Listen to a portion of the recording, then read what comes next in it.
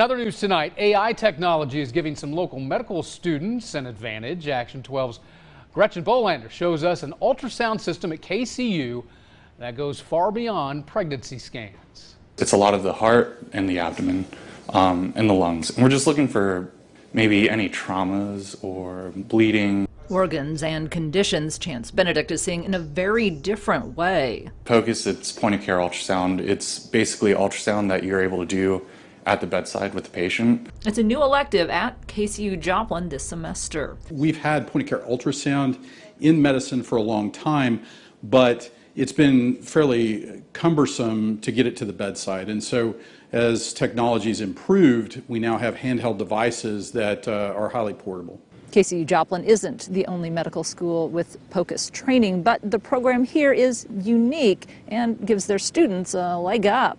Point of care ultrasound, there's nobody that's teaching it like we are.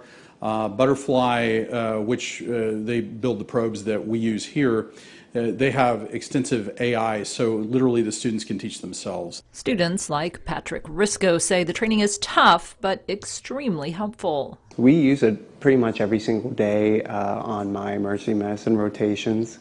Um, whether it's for a trauma patient who is potentially having some abdominal distress, or if a patient's a hard stick, um, getting an IV line in them makes it a lot simpler. It's just become almost like a, a second stethoscope for me. So if I have a, a head scratcher or something I'm trying to sort out, I just grab my ultrasound and take a look.